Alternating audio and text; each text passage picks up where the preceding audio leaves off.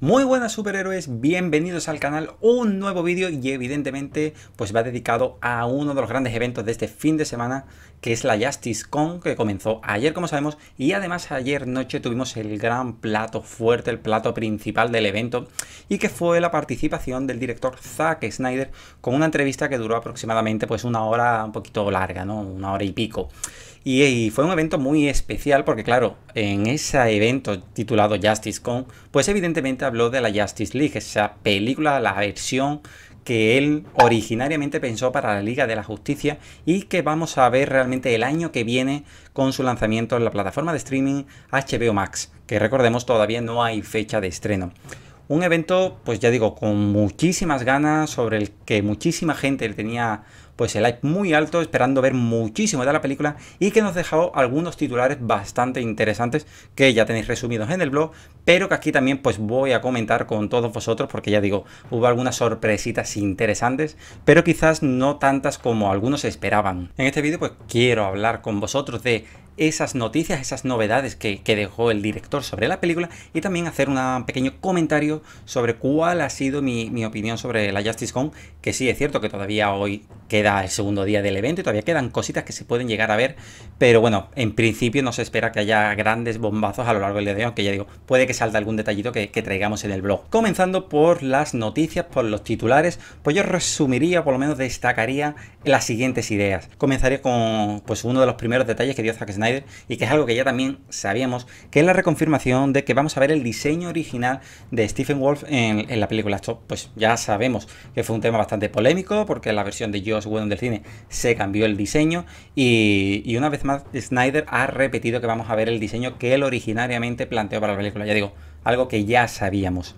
Otra cosa que también ha comentado el director es que él está actualmente trabajando sobre la versión que él montó, dejó montada en su momento en febrero del 2017. A partir de ahí ya dice que se empezaron a hacer una serie de recortes a petición del estudio. Bueno, pues él se ha remontado, ha cogido aquella versión y sobre esa es la que ahora mismo están trabajando en los efectos especiales que ahora mismo pues es su prioridad y en lo que reconoce que está prácticamente todo el día trabajando porque de hecho él trabaja desde casa, de como tiene un estudio en, la parte inferior, quiero recordar que dijo de, su casa, pues está prácticamente todo el día pensando en ella. Igualmente abordó una, novedad, que esto sí es algo que no sabemos, que es el tema del título porque en principio nos lo han presentado como Zack Snyder's Justice League, un título que ya hemos comentado en alguna que otra ocasión que podía ser un poco problemático, sobre todo para las personas que no están metidas en este mundo, ¿no? Para el fan generalista y, y que claro, pues te lleva a confusión, ¿no? Porque en qué se diferencia esta película de la Liga de la Justicia que vimos en el cine, porque no todo el mundo conoce a Zack Snyder. Entonces,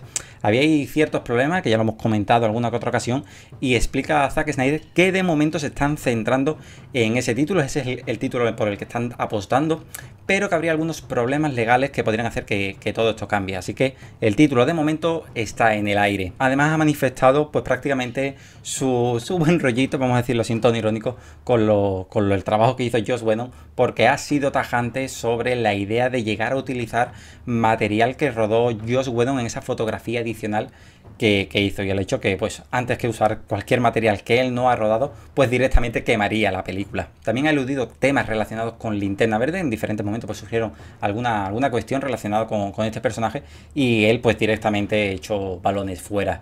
Ya recordemos que vimos a, un Linterna Verde en el momento del flashback de la invasión a la Tierra, pero Zack Snyder también llegó a decir que, que vamos a ver a otro Linterna Verde, pero sobre todo este tema pues hay muchas dudas, no está nada claro y vamos a seguir con las dudas de momento. Y por último tenemos también los comentarios del director avanzando lo que vamos a ver en el evento DC Fandom, porque como ya sabemos el mes que viene vamos a tener 24 horas de, evento online donde se va a hablar de muchísimas cosas de DC, de muchísimas películas y entre ellas pues esta versión de la Liga de la Justicia. Y el director ha dicho que en ese evento van a, a dar por lo menos tres cosas. Por un lado se va a aclarar si finalmente estamos ante una película de cuatro horas o una miniserie, que es una cuestión que todavía está en el aire, que en aquel evento vamos a ver material promocional de esta película y por último ha dicho que posiblemente sepamos ya también cuál va a ser el título definitivo que, va a tener la película. Pero claro, ah, no todo se ha quedado ahí, también hemos tenido un avance de la película o más que avance, un pequeño clip que ha hecho que pues mucha gente se emocione y mucha gente que también está criticando lo que vemos en, ese clip. ¿Por qué? Porque este clip es una escena eliminada que ya vimos hace bastante tiempo, pero con una importante novedad, y es que vemos el traje de Superman negro en movimiento. Se ha cogido una escena eliminada que ya vimos, que fue el momento en el que eh, Alfred se encuentra con Superman, y ahora lo vemos pues con el traje negro, como digo. ¿Esto por qué ha llamado tanto la atención? Porque se nota claramente que, el traje negro es algo que se ha superpuesto sobre el, traje eh, azul y rojo de Superman, sobre el traje clásico. Y eso está haciendo pues que para muchos canten esos efectos visuales. Hay que decir, aunque es algo que ya Zack Snyder dijo en el pasado y ayer volvió a repetir, que el material de, Superman con el traje negro no se pudo rodar con el traje negro básicamente por imposición del estudio. Zack Snyder tenía claro que quiere colocar a, Superman con el traje negro, pero el estudio no lo tiene tan claro, por tanto le pusieron impedimentos para hacerlo. Entonces Snyder, por lo que explicó también ayer, lo que hizo fue rodar con el traje azul y rojo, pero le hicieron una serie de ajustes para después en postproducción poder cambiarlo a negro. Sí, es cierto que, que, se notan los efectos especiales, ¿no? Que hay algo que todavía nos canta, ¿no? Que no, no se ve natural del todo. Pero bueno, Snyder ha dicho que todavía están trabajando en los efectos especiales, que todavía no está terminado. Eso que vimos ayer no es la versión final y que todavía están trabajando en las correcciones de color. Por tanto, eh, no debemos pensar que ese es el lustazo final que vamos a tener del traje negro. Cabe recordar también que vamos a ver bastantes escenas de Superman con el traje negro, no solo esa escena. Básicamente desde que Superman resucita, eh, lo vamos a ver prácticamente con, con, el traje negro. Es decir, el último acto pues va a lucir ese traje. Así que todavía hay mucho que ver, muchísimo lo que se puede demostrar, todo lo que se puede hacer con, ese traje. Y, creo que de momento deberíamos esperar antes de valorar lo que hemos visto en un clip que realmente tiene hasta baja calidad, porque lo que mostraron ayer, eh, la resolución es bastante baja como para realmente poder valorar, creo yo, con, fundamento. Y con esto realmente se terminarían prácticamente todas las novedades que dijo Zack Snyder de la película. Habló muchísimo, pero realmente los grandes titulares son estos.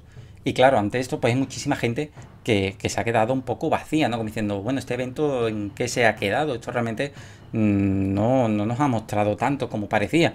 Y es que realmente tampoco se esperaba mucho más cosas de este evento. Hay que destacar que estamos ante un evento fan en el que ha participado Zack Snyder y yo entiendo que Zack Snyder ha participado porque evidentemente a los fans pues les debe mucho, ¿no? Porque gracias al apoyo de muchísima gente es porque se puede hacer esta, esta película. Por tanto, ante un evento fan como este que está dedicado a la película, qué menos que aparecer.